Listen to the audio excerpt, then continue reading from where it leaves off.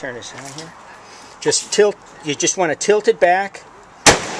You pull this rod up, and then you just drop them in like this.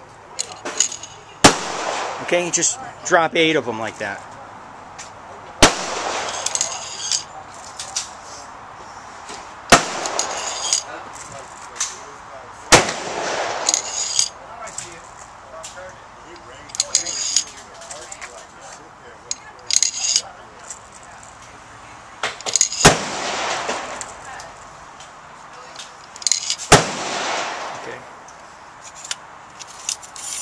Pull it down. Pull it to it. It's, oh, Sorry, Bob. okay.